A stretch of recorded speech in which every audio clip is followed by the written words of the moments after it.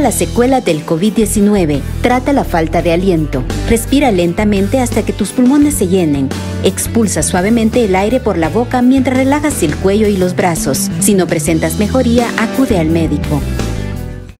Aplica. Únicos en con servicio de internet simétrico con fibra óptica. Conéctate con los amigos, la familia o el trabajo, sin interrupciones. Aplica, es velocidad real, desde 6 hasta 100 supermegas, sin contrato. Aplica, cable óptico con más de 90 canales y televisión local, con la mejor programación. Solicita tu conexión. WhatsApp 77589533 o visítanos, segunda calle 032, zona 9, Colonia La Flor Floresta. Aplica el Internet de Shela.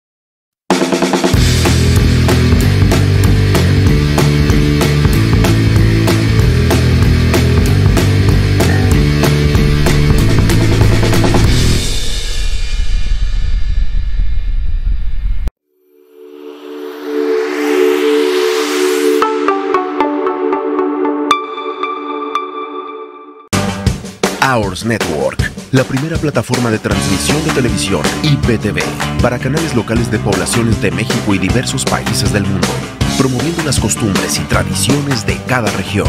Descárgala en Google Play o Apple Store. Hours Network. Supera la secuela del COVID-19. Contra la tos seca, mantente hidratado. Si no presentas mejoría, acude al médico.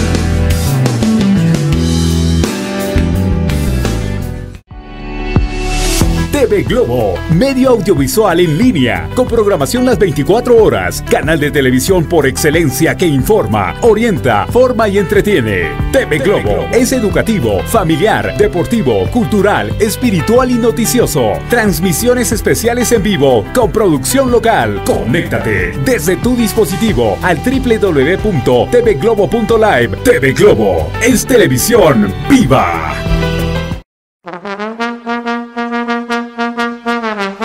Cada vez falta menos para el inicio del torneo Apertura.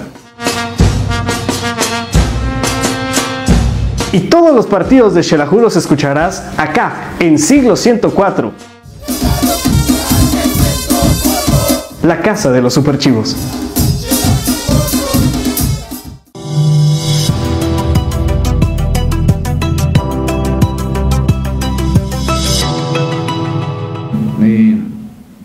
también eh, terminar mejor la jugada. Positivo creo que es que el equipo generó eh, opciones de gol y, entre lo que podemos tratar de mejorar es que, seamos más efectivos en esas opciones de gol que se generen. Eh, considero yo que en los dos encuentros el marcador fue justo a lo, que presentamos nosotros. Fuimos un equipo que, que generó un poquito más que aprovechó sus momentos y, que de alguna manera me quedo con la imagen de un equipo que cerró bien, sobre todo el segundo partido, con el marcador a favor. Eh, nunca nos metimos atrás, sino considero que tal vez estuvimos más cerca nosotros de buscar ampliar el marcador que el empate. Entonces eso te deja buenas sensaciones. Claro, de nada sirve porque al final lo que viene es lo que vale, se van puntos. Bueno, eh, ya de regreso seguramente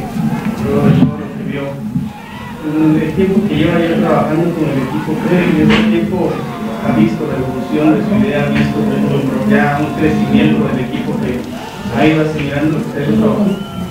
Sí, lógico que hemos mejorado y aparte nos hemos conocido un poquito más. Ellos conocen un poquito más lo que yo espero de ellos y, y también yo voy conociendo de ellos hasta qué punto poder exigirles o, en qué exigirles o en qué potenciarlos o mejorar ciertas actitudes individuales de ellos y, mejorar siempre, siempre algunos principios colectivos, tanto defensivos como, como ofensivos, que hay que mejorar eh, en lo que viene. Yo somos muy conscientes de, eso, pero yo creo que, que hay una evolución. Al final también es una es un grado de confianza que podemos tomar. Hemos tenido ya eh, cinco encuentros ya de carácter eh, de preparación. Eh, el que perdimos fue contra el DC United, un partido cerrado. tal vez el poder que el equipo sea más contundente es algo que, se va a buscar, pues no es, no es un tema que, que afecte solo a Xelajú, en sí ha sido un problema del fútbol guatemalteco en sí, de todos los equipos. Entonces, mejorar eso, contento porque se mejora en, la parte defensiva, eh, considero yo. Hemos recibido un gol en cinco encuentros, que eso es bueno también, eh, eso habla de un buen trabajo defensivo del grupo como equipo eh, y que nos da ese grado de confianza de poder asimilar las situaciones y, de entender lo que yo quiero, que siempre digo que un, equipo se, se, construye de, atrás hacia, hacia adelante. Y a propósito de la, de la contundencia, de lo que pudimos ver de los partidos, eh, vemos ahora eh, a un LOM bastante participativo, me parece un poco interesante, pero fuera de, fuera de el, caso de, de, Nicolás Nelson, mm. eh, puede dar un poquito si se confirma y lo otro por ella serían tres plazas de extranjeros. ¿Qué va a pasar con la cuarta plaza? Sí, estamos en el análisis. Eh, yo creo que Nicolás, eh, como lo dije, es muy difícil hacer una evaluación y, no puedo ser injusto el hecho de, un jugador que se baje el avión, eh, que no, no hable el idioma de muchos, aunque tenemos un equipo muy bilingüe, también casi todos hablan inglés y eso facilitó un poquito la comunicación con él. Todos los los jugadores de, carácter ofensivo hablan inglés, entonces eso facilita un poquito la comunicación con él. Eh, pero igual, estaba viajando del avión, no conocía el grupo, no, conocía el modelo de juego, la idea. Eh, es muy diferente a una pizarra intentar de, de, tratar de intentar conceptos. Y bueno, vimos tanto como hemos visto en todos, cosas positivas, cosas a mejorar, vimos eh, que es un jugador que puede apegarse a lo que nosotros buscamos.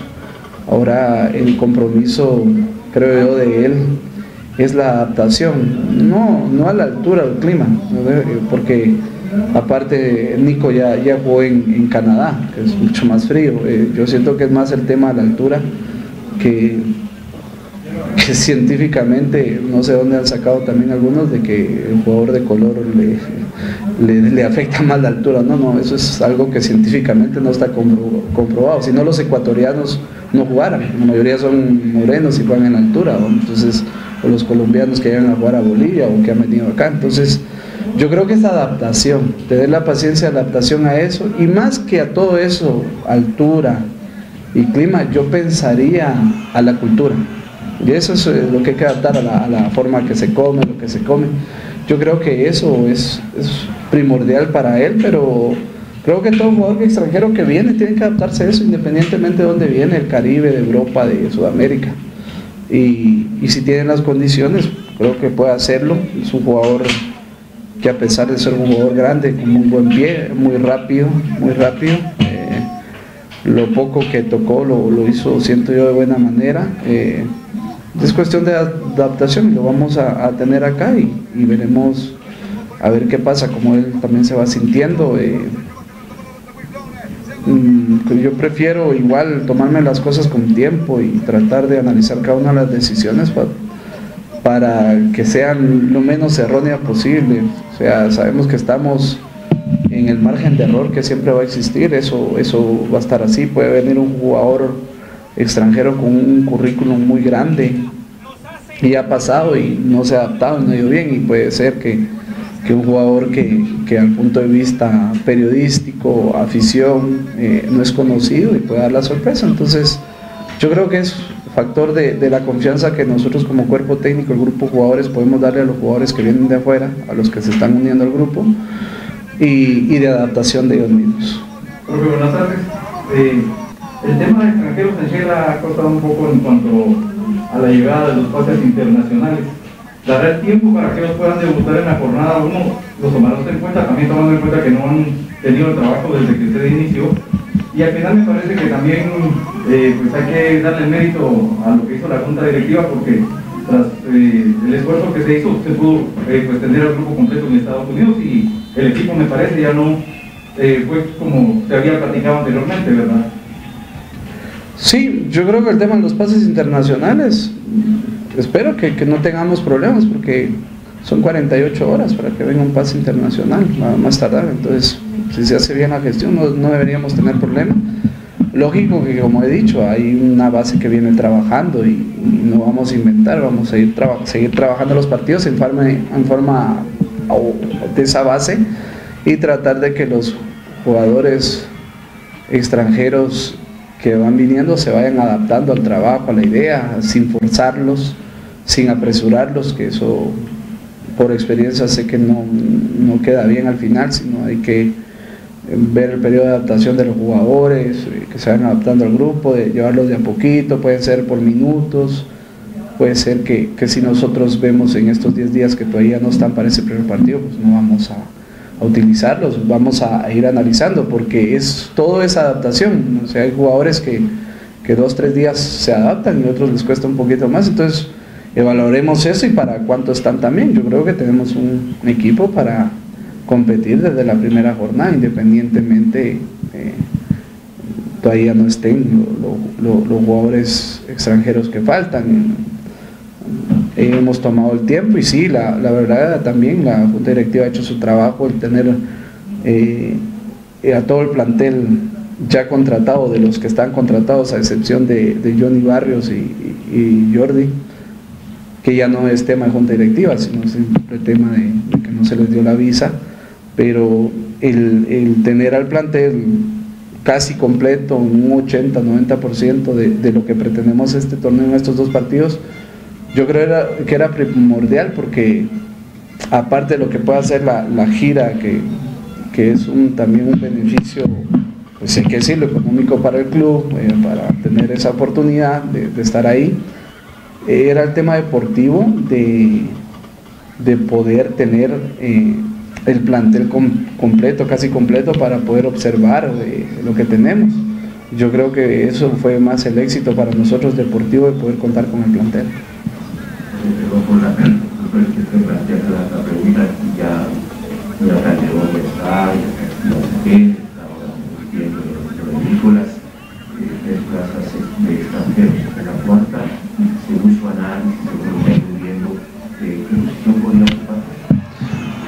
Yo creo que el reglamento nos permite a nosotros eh, hacer uso de cinco jugadores eh, no elegibles para selección en un partido y, y, tener esa, esa, variante con un sexto, en el caso si uno tiene nacionalizados o, menores de sus 23.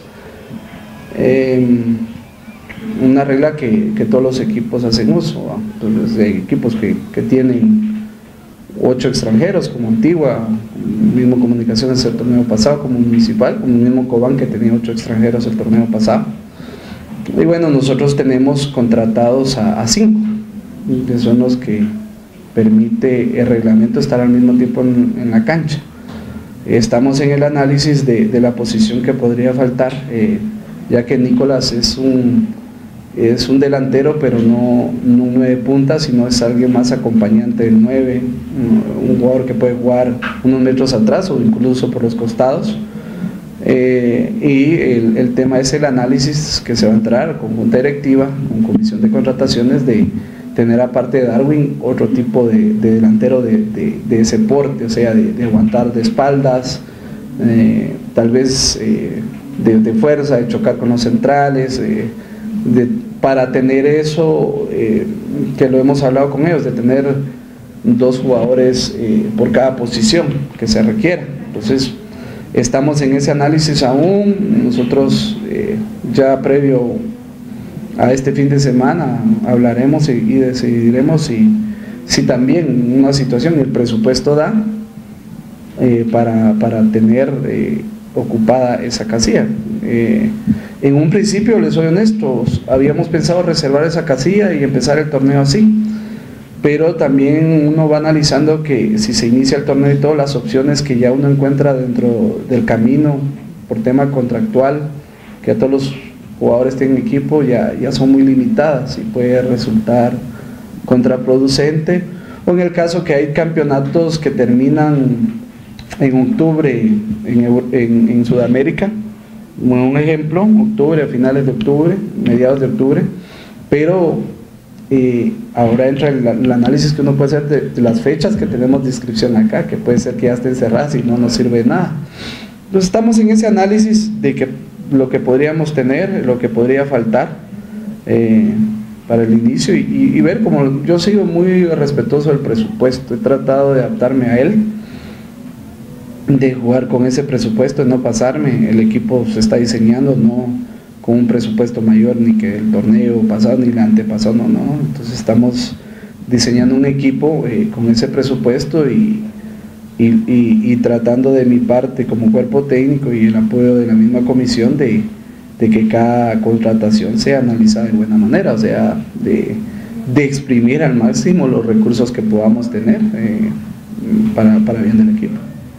Profe, ya tuvo el tiempo usted para poder analizar el equipo de, de Iztapa, tomando en cuenta que hay varias eh, contrataciones de jugadores extranjeros de algunos refuerzos que tienen, como el caso de Cristian Ojeda, Benedicto Aldana, jugadores nacionales, eh, y de ahí pues tres colombianos que tienen al equipo, eh, cuenta también con el jugador Carlos Julián Santos, que es mundialista, ¿verdad? Recién con selección sub-20, no sé si usted analizó al, al equipo de Iztapa. Sí, claro, es un equipo bien dirigido, eh, que cerró muy bien el torneo pasado, no le alcanzó para clasificar. Eh, mantiene una base que ha venido trabajando con ellos desde tiempo y el refuerzo de tres jugadores colombianos con eh, ya cierto grado de experiencia y, mucho recorrido ya en el fútbol. ya, ya, son jugadores experimentados, han tenido participación en Ecuador, en Bolivia, en el mismo Colombia uno, uno analiza todo eso. No va a ser fácil, yo creo que ni, ningún equipo, eh, yo, siento que el, torneo va a ser muy parejo, ningún equipo lo veo yo débil, eh, accesible, no todo va a ser complicado, pero también, como se lo decía el grupo, tampoco veo un equipo que nosotros no le podamos ganar, o sea, podemos competirle a cualquiera, entonces va a depender mucho cuando un torneo es muy parejo, cuando los equipos están muy parejos, depende mucho del trabajo como equipo que pueda hacer un eh, en este caso, de, fijarnos y corregir esos pequeños detalles que pueden marcar la diferencia. Y eso es lo que hablábamos de estos dos partidos que nos sirve para corregir muchos esos detalles, eh, la concentración en las marcas a pelota parada, eh, los cierres, los recorridos que sean velocidad, cuestiones eh, técnico-tácticas que tenemos que corregir porque en partidos como los que van a venir, que son muy parejos, van a tomar mucha importancia. Eh, como todos los, equipos están muy parejos y, va a haber partidos que se van a definir por, pequeños detalles. Nosotros tenemos que tener cuidado en eso. No, no siento que tengamos un equipo pues sobrado para decir que por la camisola o por los jugadores que tenemos se va a ganar un partido, no, todos van a ser exigentes, pero vuelvo y repito, no creo también que exista un equipo que sea muy superior a nosotros, están parejos. José, eh, preguntarle por dos jugadores en sí. El tema de Kevin Encina, ya prácticamente en el país ha podido usted platicar con él y el otro. Se habla de un futbolista, otro argentino, de hecho ya en unas cuentas de periodistas en Argentina hablan de su vinculación con Xelajú, por eso no se hace oficial el tema de Miguel García. Eh, ¿Cómo ve a estos dos eh, futbolistas? Los dos son jugadores zurdos, eh, de buen pie, rápidos, fuertes, como me gustan, encaradores. Eh, y bueno, son, son opciones. Yo Kevin está acá, eh, prácticamente ya es jugador de Xelajú y pasa las pruebas médicas, ya tiene un arreglo con el club. Es un jugador que a su corta edad ya tuvo minutos en Copa Sudamericana con Defensa y Justicia con BKCS, como fue el técnico, eh, eh, con, sobre, todo que, los minutos que lo hizo debutar fue Crespo, y después fue dado a préstamo a un equipo de B Nacional, que es la, segunda división más importante de Argentina, donde tuvo alrededor de mil minutos. Entonces es un chico, entre comillas chico, pero ya con mucha experiencia, que nos permite la regla tener esa opción de, de un extremo que pueda competir con, el mismo Marco, con el mismo Cardosa, con el mismo Nairi, que soy de los entrenadores que cree que, la sana competencia en un platel ayuda a que que ellos mejoren, que se potencien. Em, y es lo que buscamos. Yo siempre he dicho, eh, y les ponía a ellos de ejemplo, que, que en Guastatoya teníamos a veces hasta dos extranjeros en la posición que jugaba Vargas y terminaba jugando Vargas porque era mejor. Entonces eh, el jugador guatemalteco no debe tener miedo a la competencia, debe verlo como un reto para mejorar. Ese es el otro punto de vista que no miramos, de que por qué tenemos miedo a competir, no, entiendo, no hay que regalarle nada a nadie, hay que ganárselo y, y lo que quiero tener es cuatro jugadores extremos, más lo de Johnny que puede sumar, el campeonato es más largo, de, de características eh, buenas, eh, jugadores rápidos, encaradores, que, vayan para adelante, que, que, me aporten gol, asistencias, que me aporten ese despliegue físico que necesito por yo, por las bandas, por, por, la forma que juego. Y yo creo que Kevin es un buen complemento a eso. Ahora con, con Abuelo está todavía en, en un jugador como una, como digo yo, como una posibilidad, porque hasta que no esté en el país y no, no exista pues ya un acuerdo con él en todo sentido para decir que es parte del club. Sí, hay algo ya adelantado, pero serían esas dos casillas que nosotros estaríamos ocupando. Profe, en, ese sentido, entendiendo eh, su postura de respetar el presupuesto del club, para la cuarta casilla de extranjero, ¿cómo va a ser la elección de ese candidato, profe? ¿Usted esperará la propuesta de la Comisión Deportiva y de la Junta Directiva? ¿O será ustedes que proponga? No, hemos tenido una buena comunicación, eh, somos muy abiertos. La verdad que, que nos han presentado carpetas, no solo la comisión, los mismos directivos, yo, y al final eh, quiero agradecer eso, la confianza de, de, la Junta Directiva, que al final la, última palabra la hemos tomado todos, eh, nosotros, perdón, y todos apoyado esa última palabra en este caso de, de, de Kenner, de, Calderón, de, de Lencina, que ya puede estar, lo de Nicolás, que puede estar con nosotros, eh, es una decisión que pasa por mí, o sea, yo estoy decidiendo de que o sea, tú me puedes presentar una propuesta y si no me interesa, no veo una buena estadística, si paso dos horas eh, escauteándolo con los programas que, que tenemos, que eso ayuda, y no me convence, digo que no.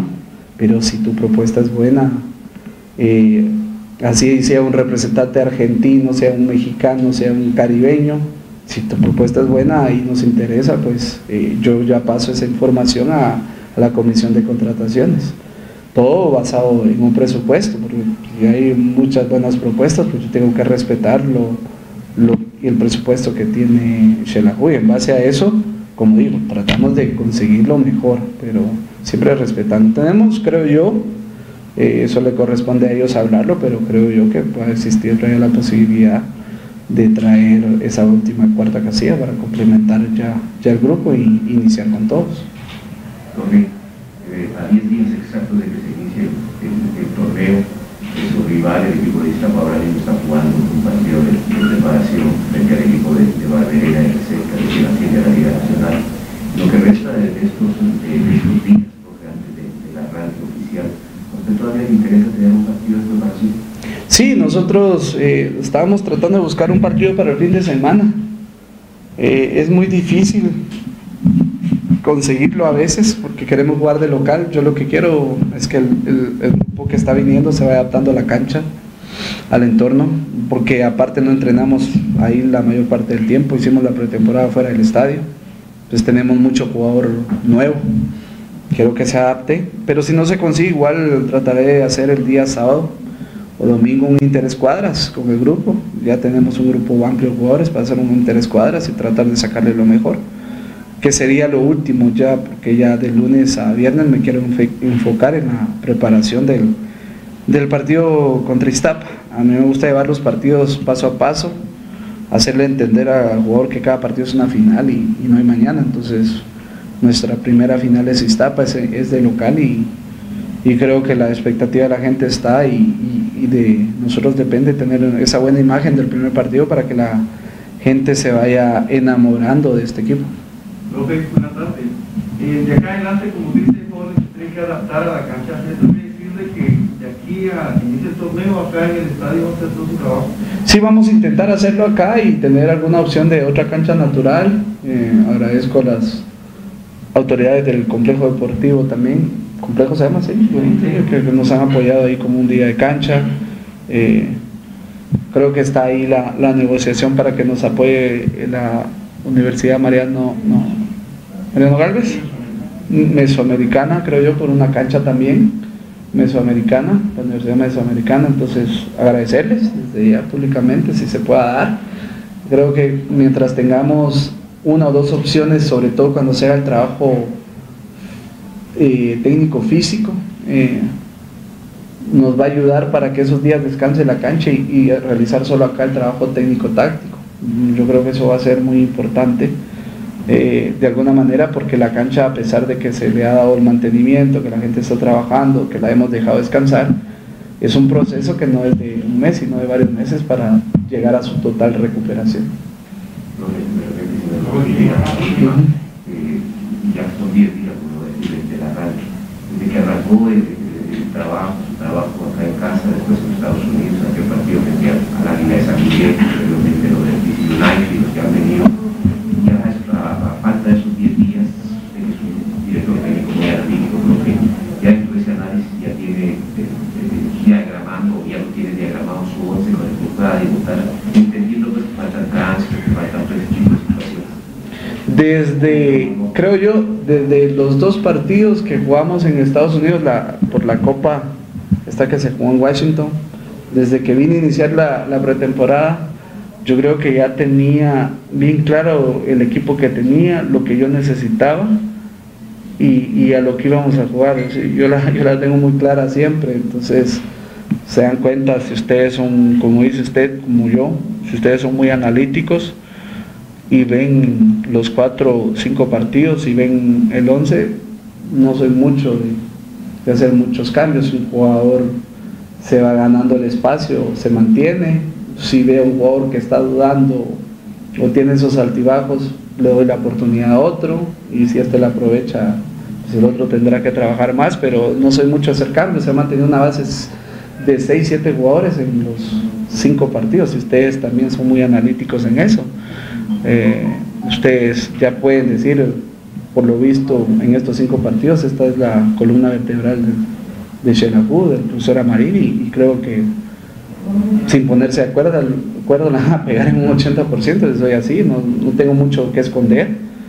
Eh, creo que sí soy mucho, y la gente que me conoce también de los rivales, eh, ustedes mismos, soy mucho de generar sorpresas, pero en esos cambios de sistema que, logro realizar el mismo partido, que en pleno partido te cambio a línea de tres, te juego con dos delanteros, con los mismos nombres, por eso por lo regular tengo dos, tres jugadores polifuncionales dentro de la cancha, porque también analizo al rival, si estoy perdiendo el partido tácticamente, no, no soy necio y cerrado en una idea de, de, mantener algo, sino lo cambio. Hoy con Guastatoya cambiamos dos veces, eh, contra el dicionante cambiamos tres veces para tratar de emparejar el partido y cerrárselo bien. Eh, y, y, así soy, voy analizando y por eso me gusta en los jugadores polifuncionales que pueden jugar en distintas posiciones y por eso la mayoría que vienen son jugadores que ustedes, eh, si los analizan, te ocupan una o dos posiciones en el terreno de juego porque me gusta tener esa versatilidad en el equipo, siempre pidiendo ese orden independientemente del sistema, ese compromiso, ese bloque corto de todo el equipo. Y pues por último, eh, las características de los jugadores que a mí me gustan también marcadas, me gusta mucho el jugador de sacrificio, que tiene mucha entrega, rápido, eh, que, sea encarador, que se a encarar del medio para adelante, que tenga, pues, eh, o, o, tratar de inculcarle mucho la confianza en sí mismo. Ese es el, el equipo que vamos a tener y como se lo digo, yo la, tengo clara desde que vine aquí, qué equipo, qué, equipo de, qué tipo de equipo quiero para que la afición crea en nosotros y, bueno, mi compromiso está con, junta directiva, con el mismo grupo y con el entorno Shera, que son ustedes, la prensa y, el aficionado. Y después todo lo que se pueda decir afuera de, de a mí me vale la verdad, porque si están todos pendientes de nosotros ahora y de qué hacemos. Eh, y, me vale, pues, me vale, me vale. A mí me, preocupa Shela y, lo que me interesa ahorita es quedarme con Shela. Gracias.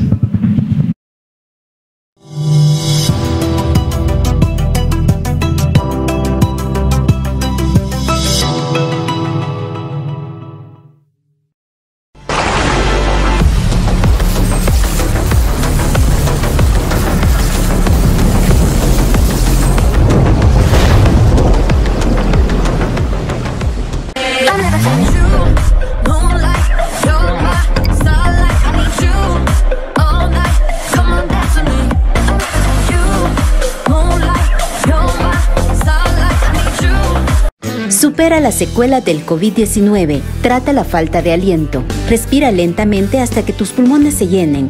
Expulsa suavemente el aire por la boca mientras relajas el cuello y los brazos. Si no presentas mejoría, acude al médico.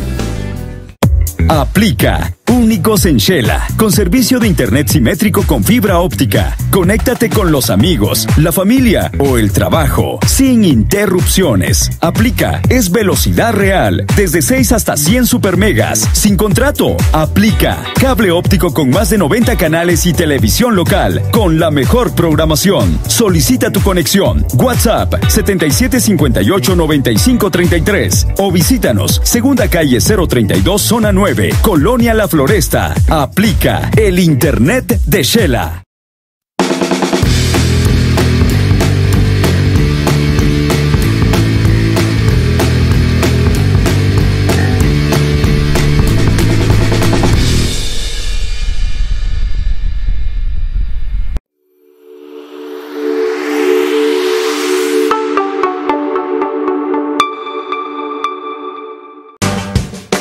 Network, la primera plataforma de transmisión de televisión IPTV para canales locales de poblaciones de México y diversos países del mundo, promoviendo las costumbres y tradiciones de cada región. Descárgala en Google Play o Apple Store. Hours Network. Supera la secuela del COVID-19. Contra la tos seca, mantente hidratado. Si no presentas mejoría, acude al médico.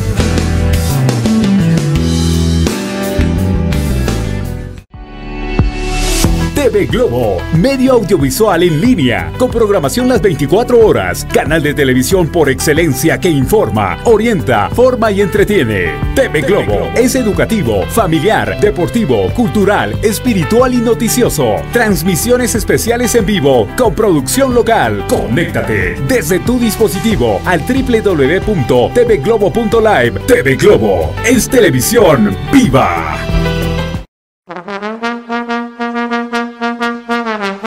Cada vez falta menos para el inicio del torneo Apertura.